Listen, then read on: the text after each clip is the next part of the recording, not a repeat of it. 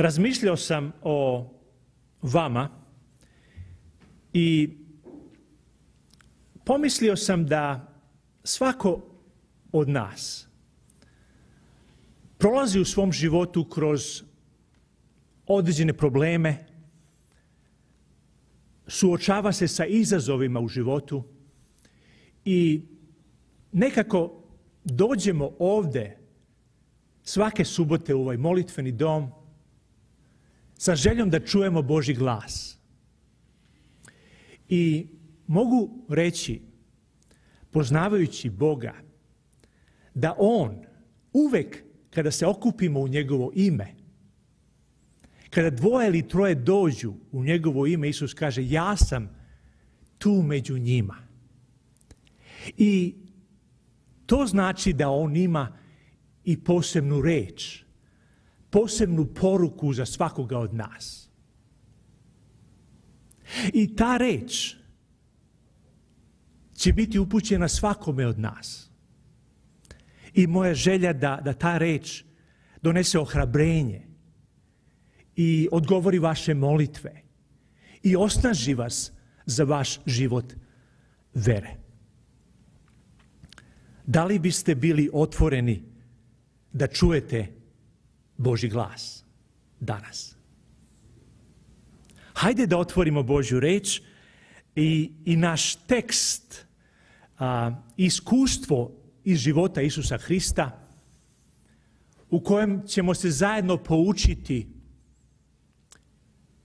kako da se suočavamo sa životnim problemima ili kako Bog gradi našu veru, nalazi se u Jovanu četvrtom poglavlju od 46. do 50. stiha.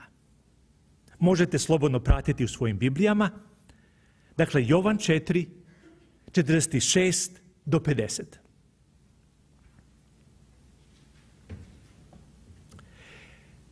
Dođe pak Isus opet u kanu Galilejsku gde pretvori vodu u vino i beše neki carev čovek čiji sin bolovaše u Kapernaumu.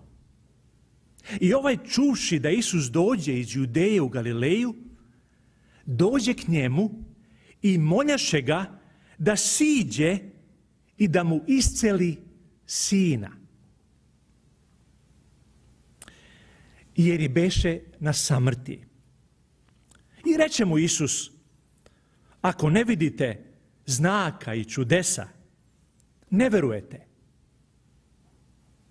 A reče mu carev čovek, gospode, siđi dok nije umrlo dete moje.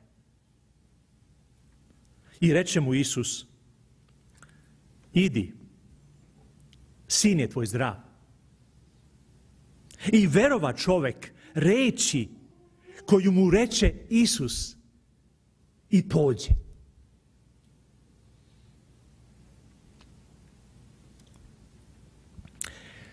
Od prvog do 10. juna ove godine imao sam priliku da održim u Beogradu, kao i na Novom Beogradu, seriju predavanja pod naslovom Život sa svrhom. Ili kako susret sa vrednostima, pravim vrednostima, može promeniti naš život. Na poslednjem predavanju prišla mi je jedna gospođa koja je došla prvi put te večeri. A svake večeri bilo je oko 20 do 25 prijatelja i puna dvorana u donjim prostorijama Beogradske crkve. Ona mi je prišla i rekla, znate, htela sam nešto da vas pitam. A, moja dobra prijateljica ima veliki problem. Njen sin je u velikoj depresiji i ne znaju šta da rade sa njime. Da li bi možda vi mogli njemu pomoći?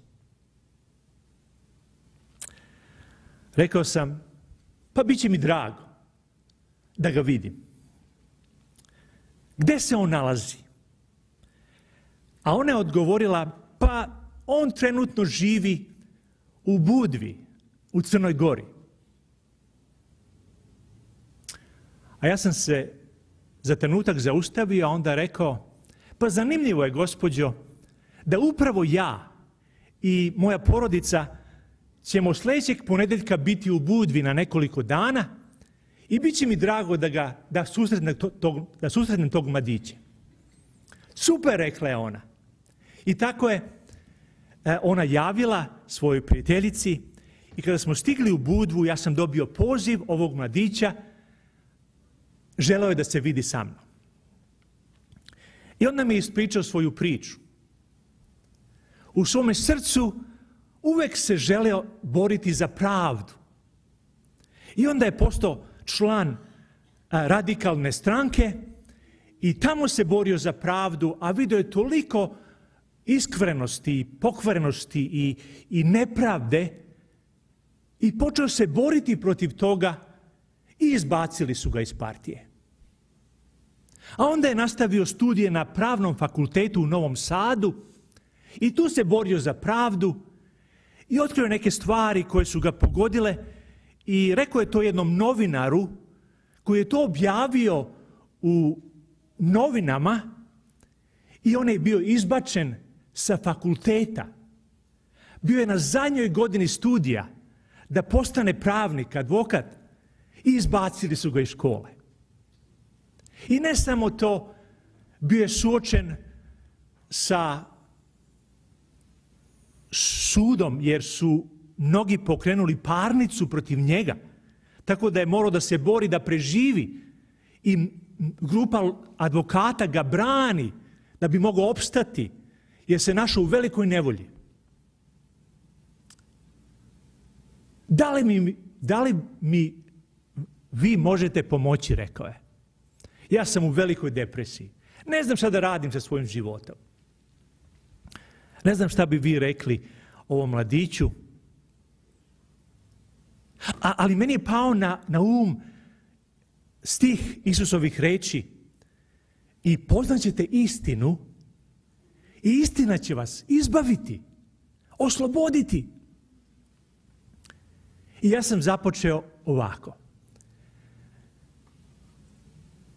Prijatelju, ja vidim da ti u srcu svome imaš želju za pravdom.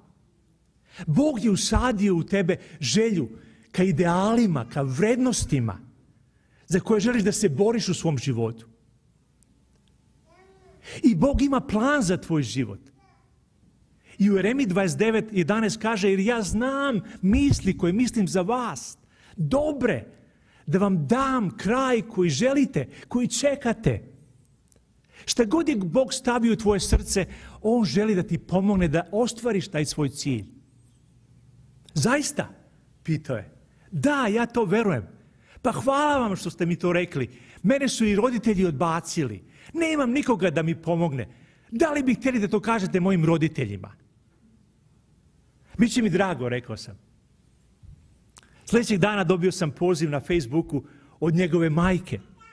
Hvala vam što ste pomogli mome sinu. Na kraju naše suste ja sam mu dao novi zavet i rekao sam, tu je istina Božje reči. Istina će te osloboditi. I dao sam mu put Hristu. To je put jer Isus ta istina, kao i njegova reč. I dao sam mu zadnji, zadnje poglavlja velike borbe, jer je to također istina za naše vreme. Znate, nama je dato preimutstvo. Nama je poverena istina koja se nalazi u Isusu. Istina koja se nalazi u Božjoj reči. Istina koja se nalazi u Božjem vestniku za naše vreme, koja nam govori o sadašnjoj istini za ovo vreme. Ljudi u svetu nemaju to preimuštvo da poznaju istinu. I oni su u strahu, bez cilja, u depresiji. A mi imamo takvo preimuštvo da poznajemo Boži plan i radosnu vest i nadu da Hristos skoro dolazi. Jer svi znaci nam govore. Promatramo i vidimo da je ovo vreme, jer nikada do sada te nepogode i zemljotresi i, i poplave nisu bile takvog intenziteta kao što sada se to događa. I ne samo to mi vidimo na političkom planu i na religioznom planu. Dolazi do sjedinjavanja crkve i države i pritiska da sve države u Europi i zadnje Crna Gora prošlog mjeseca izglasaju nedeljni zakon i da se sve prodavnice zatvore. I mi nismo tu da predviđemo budućnost, ali Biblija kaže kada vidite da se sve to događa, znajte da se približilo izbavljenje vaše. I to treba da ojača našu veru, ne da nas obeshrabri. I naše je premustvo da to podelimo sa ljudima oko nas. Jer istina će vas osloboditi. Znate, nekoliko dana kasnije a, ovaj mladić mi je poslao poruku i ovako je rekao. Hvala vam puno, doktore. Ja sam kao psiholog bio tamo i on mene naz, nazvao doktorom. U četvrtak imam suđenje, samo da mi, da mi gospod nebeski moj da mira da preživim. Nekoliko dana kasnije on kaže, doktore, odlično je prošlo suđenje. Advokati su prezadovoljni. Hvala vam puno što ste se molili za mene. Psihički sam mnogo bolje. Slava Bogu. Do dan danas mi se dopisujemo. I u ovom trenutku on čita knjige, proročke knjige, hoće da zna o današnjem vremenu. Hoće da se pouči i kaže, jako sam zahvalan Bogu za istinu koju mi je dao.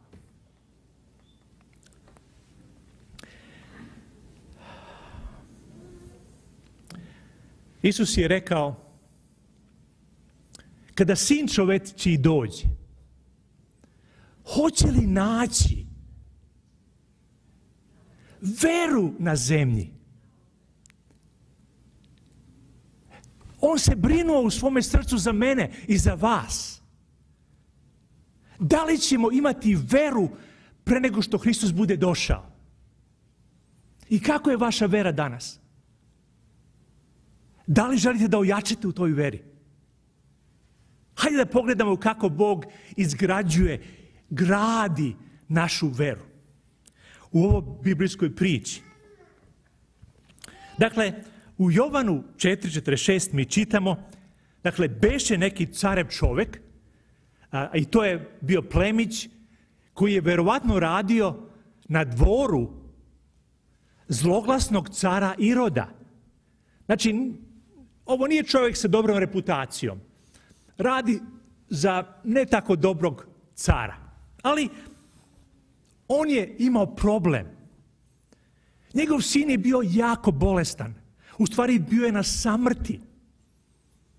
I ovaj čovjek čuje da neki čudotvorac iz tog kraja je došao 15 kilometara od, od njegovog mesta. Dakle, Isus dolazi dakle, u Kanu, a Kapernaum je 15 km dalje. I on pešači i dolazi kod Isusa i donosi svoj problem Isusu i kaže, gospode, moj sin je bolestan, on je na samrti, dođi, molim te, i isceli ga. Dakle, ako želimo da se poučimo na osnovu biblijske reči, a Božja reč je silna, Božja reč je istina,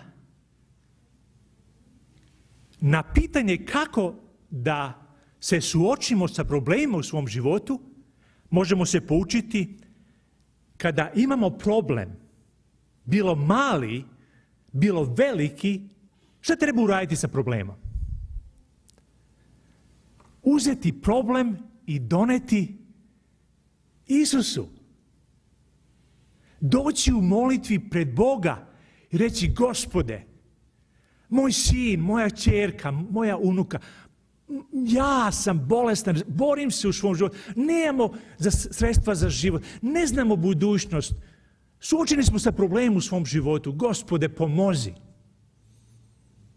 Dakle, koji god problem da imamo u svom životu, Biblija nas poučava, dođite.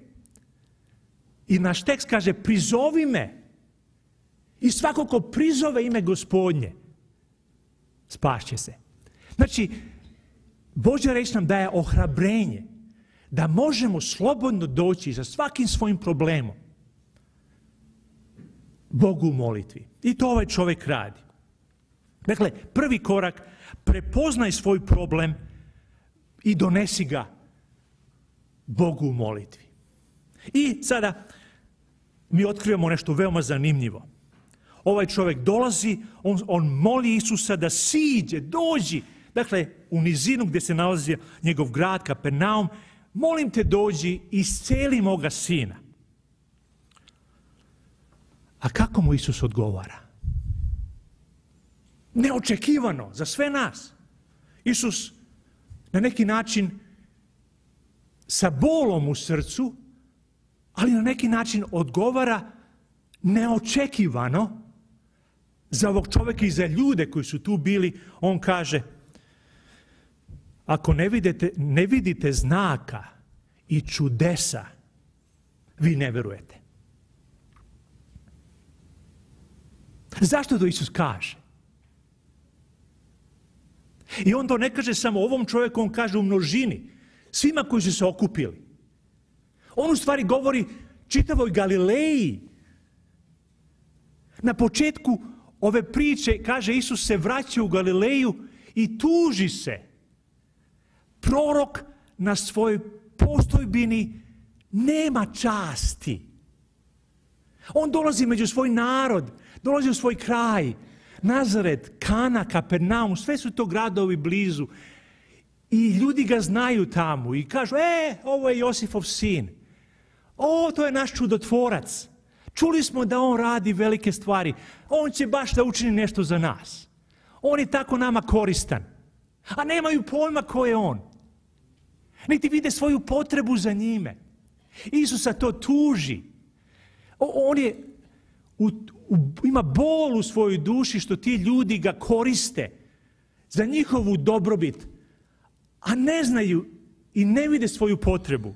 I upravo tako ovaj, ja čitam u knjizi Želja vekova, gdje ovako kaže da je ovaj čovjek došao kod Isusa i čak i uslovio svoju veru, svoje verovanje u Isusa uslišenje njegove molitve. Ako ovaj čovjek usliši moju molitvu, ja ću ga verovati. A on ne zna Isusa, ali već u svojim mislima misli, samo ako to uradi, e onda ću ga ja verovati. I ovdje pisac kaže, ovaj dvorski čovjek predstavlja mnoge ljude u, u, u, Božjem, u, u izraelskom narodu. Oni su svi bili zainteresovani za Isusa i sebičnih pobuda. Nadali su da će dobiti neku korist od njega. Isus je bio koristan za njih. A Isus nije došao da bude koristan, on je došao da bude dragocen, da bude njihov spasitelj, da bude najvažnija stvar za njih, Bog koji govori, a oni to ne vide. Isusa boli u svome srcu. Čak i njegova braća kažu, idi u Jerusalim pa pokaži neke od svojih čuda, znakova, da bi te i drugi verovali. I onda kaže, jer ni oni nisu u njega verovali. Isus hodi Galilejom među svojim narodom, a oni ga ne veruju. Ne znaju ni ko je on. A dan ranije bio u Samariji i tamo čitav grad je došao i sluša i kažu Samarijanki kojih je pozvala mi sada ne verujemo zato što si ti nama rekla. Nego mi smo čuli njegovu reč. I sada mi verujemo da je on zaista Mesija spasitelj sveta. I to Isus nije čuo od nikoga. Samarijani su pokazali veru u njega. A on se vraća u Galileju, a oni ga ne veruju. A hoće njegova čuda. Isus kaže, ako ne vidite čuda, ne verujete mi. Ovaj čovjek nije došao kod Isusa i, rekao, gospode, budi milosti meni grešnome. On nije svestan svoga stanja, svoje potrebe za spasenje. On ne vidi potrebu ni za svoj dom, a Isus ima nešto puno više što mu želi dati. Kada mi u našem životu, nakon što smo iznali našu potrebu Bogu i kada očekujemo da On usliši našu molitvu, a On ne odgovara,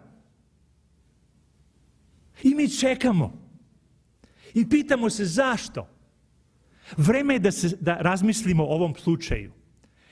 Isus želi iskušati, testirati našu veru. On želi da mi rastemo u veri. On želi da nam da puno više nego što mi tražimo. Vi znate i druge slučajeve kad je Hananejka išla za Isusom. Kaže, gospode, sine Davidov, smiluj mi se, moju kćer jako muči đavo. A Isus čuti. I zbog njih, i zbog, i zbog nje, i zbog svojih učenika. A onda kaže, nije dobro a, uzeti hleb, hlebs od dece i dati psima. Wow. Zamislite sada Isus kako daje odgovor ovoj ženi koja kaže, gospode, budi milosti meni. A ona u svojoj veri ne odustaje. Ona ide za Isusom, Bože smiluj mi, oče, gospode smiluj mi se. Gospode smiluj mi se. Ne odustaje. Nemojte nikad odustati od vaših molitava. Iako odgovor ne dolazi odmah.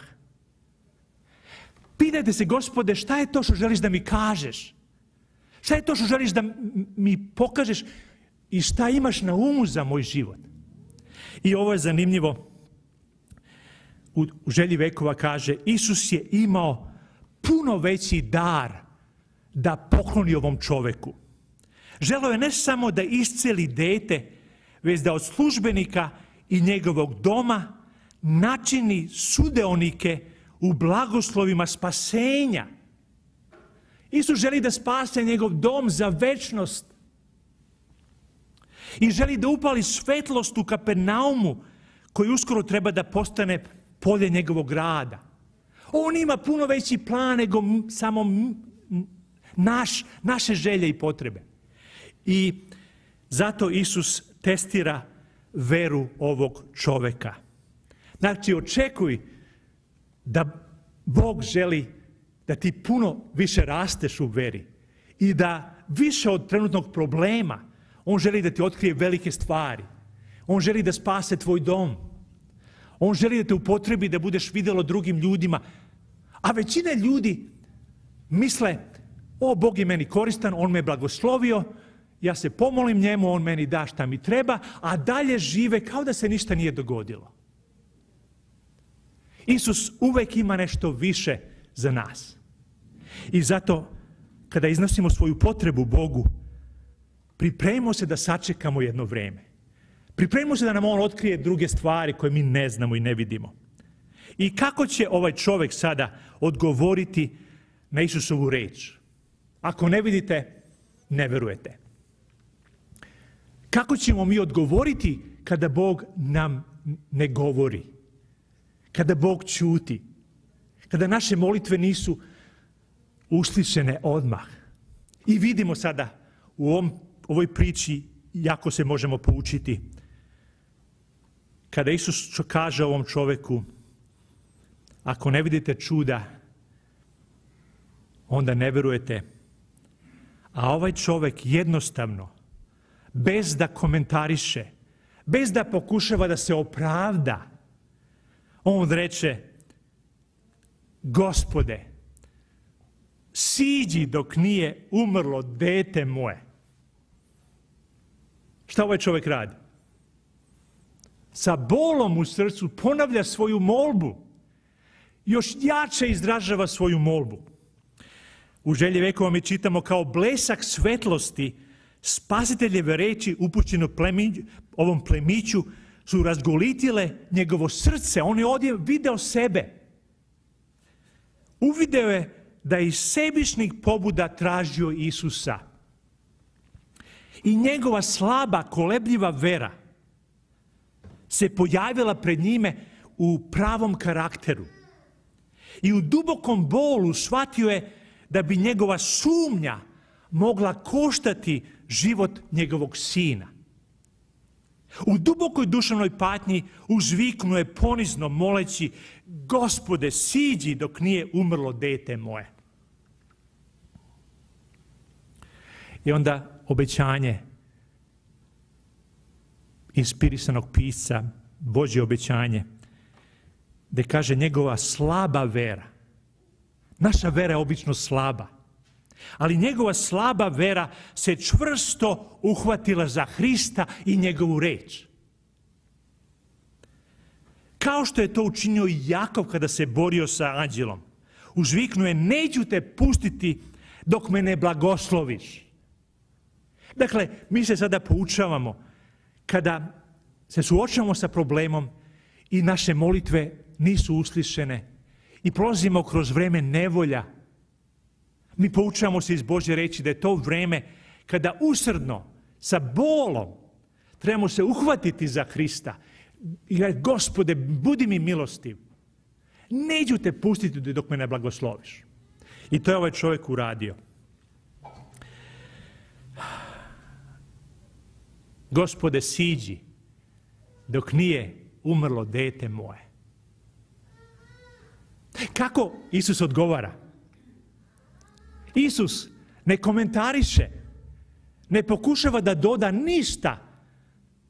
On vidi u duši kakav je ovaj čovjek i vidi njegovu bol i vidi njegovu slabu veru. Pa ipak kaže, idi, sin je tvoj zdrav. On čuje Božju reč. I on prima Božju reč. I odlazi. I zaboravlja šta je mislio kada je došao. I ne kaže, gospode, ja sam čuo da ti obično dodirom izlečuješ. Molim te dođi, a nisam siguran da tvoja reč će biti dovoljna. Ali ne, on se uhvatio za Isusovu reč i on ide kući i ne žuri se kući i polako ide i dolazi tek sutra posle podne. Jer čovjek i žena koji su čuli Božju reč i verom se uhvatili za nju, sada idu i žive i govore kao da je Bog već uslišio njihovu molbu. Život vere je život oslonjen na Božju reč, na Božje obećanja, čak i kada ne vidimo odmah rezultat. Isus je dirnut našim osjećanjima, našim slabostima i njegovo srce odgovara na vapaj za pomoć. Kada naša slaba vera se izlije i kaže svoju težnju pred Bogom, on načulji uši svoje da čuje. Čak i ako zna da mi malo znamo šta je to prava vera. On uslišava našu molbu. Kako Isus gradi našu veru? Kako Bog gradi našu veru? Kako da se suočimo sa problemom u svom životu? Na osnovu ove priče mi otkrivamo kada prepoznamo svoj problem, donesimo problem Bogu u molitvi. A zatim očekujmo da će On staviti našu veru na test. Da On želi puno više nego što mi tražimo. Da On želi spasenje, On želi naše srce, On želi da nam da novi život. On želi da vidimo svoju potrebu i da kažemo, gospode, ja nesretni čovek, budi milosti meni grešnome. Jer njemu je stalo ne samo da nas izleči fizički, nego da nas izleči u duši, u, u duhu, da nas spase. Vi znate, i čak kad Isus izlečio čoveka koji je bio nepokretan 38 godina i on i ne zna ko je Isus. Isus dolazi kasnije i kaže ja sam. taj taj i nemoj više da grešiš da ti ne bude gore. On vodi čovjeka na sljedeći korak, na život u zavisnosti o Božoj reči. Kada god Božja reč kaže idi i više ne greši, u toj reči se nalazi sila. Jer rečju gospodnjom nebesa se stvoriše. To nije samo naredba, e sada idi pa se trudi, pa pobedi zlo. Ne, ja tebi kažem kao tvorac. Ako mi veruješ, ne moraš više da grešiš. Svaka Božja zapovest je obećanje koje izriče tvorac. Svaka Božja reč ima silu da stvara. Biblija kaže na kraju, mrtvi će čuti glas Sina Božjega i ustati u život. Ti i ja, ako uzmemo ozbiljno Božju reč i čitamo Isusove reči i sve što je tu zapisano kao glas Božji koji govori nama i, da, i kažemo, gospode, neka bude tako u mom životu, učini što si rekao. Sila tih reči postaje stvarnost u našem životu i mi postajemo nova stvorenja. Kakvo ohrabrujuće saznanje da sve što nam je potrebno za život se nalazi u Hristu, koji je istina, i u njegovoj reči. Kada čuješ Božju reč, kada ti On bude rekao, neki put On će uslišiti vašu molbu, a neki put će kao apostolu Pavlu reći, kada se on moli, ukloni ovaj trn, ukloni ovu fizičku nevolju koju imam. A Bog mi kaže, dosta ti je moja blagodat. I Pavle kaže, od sada se više ne molim za to, nego hvalim Boga. Jer kad sam slab, onda sam silan, jer je blagodat bolja dovoljna. Jer je tako Bog rekao. Svako od nas može čuti drugačiji reč. Svako od nas može iz Božje reći vidjeti šta mu Bog želi reći. I Bog, Isus, svaki put izlečuje ljude na drugi način. I drugo nešto im kaže, ali uvek pred nas se stavlja da li ćeš verovati Isusovoj reči ili ne. Da li ćeš se uhvati za tvoju reč, ići napred, čak i ako ne vidiš odmah rezultat. Znajući da Bog želi nešto dobro i da Bog će učiniti puno više nego što ti imaš i možeš zamisliti. Da li želite da vaša vera raste? Uzmite Božju reč i čitajte je. Oslonite za nju i sa molitvom vratite se Bogu i tražite da On ispuni u vašem životu ono što je obećao. Na trećem predavanju 3. juna u ponedeljak moja tema je bila bazirana na Jeremiji 29.11 jer ja znam planove koje imam za vas da vam dam kraj koji čekate. I nakon toga prišla jedna mlada devojka koja je došla prvi put i nikada se više nije pojavila. Ali došla je te večeri i pitala da li mogu da razgovaram sa vama. I onda mi je rekla, znate, ja sam u velikoj depresiji. Sama sam, izgubila sam posao i nemam više nade, ne znam šta da uradim. Da li mi možete pomoći? A ja sam opet ponovio, Bog ima plan i On je već to usadio u vaše srce. Šta je to u vašem srcu? Šta bi želili da uradite, uradite sa svojim životom? Da li postoji neka iskrena težnja, želja da nešto ostvarite u svom životu? Da, rekla je ona. Volala bi da se bavim muzikom. Volala bi da pevam. Ja sam rekao, dobro. ja ću se moliti za vas. I onda sam rekao ovako. Ja ću od danas uputiti Bogu molitvu za vas svaki dan i daću vam svoj e-mail. Jer ja ne mogu pomoći, ja ne mogu rešiti vaše probleme. Ali Bog može, On je to obećao. Vi meni javite kad Bog odgovori na našu molitvu. A mi ćemo se zajedno, vi se molite i ja ću se moliti za vas.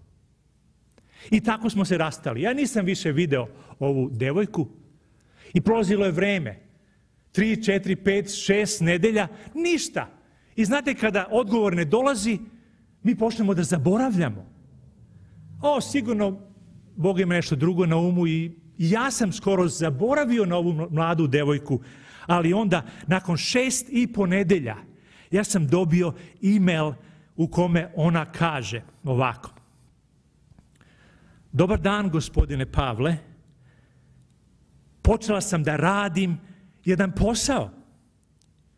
Dok čekam ostvarenje svojih snova o pevanju. Ako Bog da. Hvala vam što ste se molili za mene. Pozdrav, Dragana. Ja sam se ohrabrio. Jedan put sam video da posle duže vremena Bog je uslišio molitvu, a ja sam skoro mislio da se to neće dogoditi. Nemojte odustati. Jer ako Bog daje obećanje, i ako vi verujete da to vama Bog daje kao obećanje, uhvatite se da tu njegovu reč i čekajte dok on ne odgovori na to. A onda šta god vam odgovori, verom živite taj odgovor. I to je način na koji Bog gradi našu veru. Jer on ima puno više nego što mi možemo i zamisliti na umu za nas i za našu porodicu i za našu crkvu i za ljude oko nas. On uvek misli na spasenje vašeg i naše i moje i na novo srce, na novi život. I zato molimo se, gospode, budi mi milostiv, pokaži mi moju potrebu i pomozi mi da vidim moju potrebu za tvojom milošću. O Bože, budi mi milostiv. Kako je vaša vera danas? Da li želite da vaša vera raste? Završit ću s ovim citatom inspirisanog pisca koji ovako kaže. Da li biste želeli da budete snažni u veri? Onda dopustite Božoj reči da obilno prebiva u vama. Ako slušate Boga dok govori, vera će doći prirodno, bez truda sa vaše strane. Primite je. Ne kao ljudsku reč, već kao da je u istinu Božja reč. Slušajte je, razmišljajte, razmišljajte o njoj, sakrite je u svoje srce. I bit ćete puni vere. Jer vera dolazi od slušanja a slušanje rečju Božjom. Amin.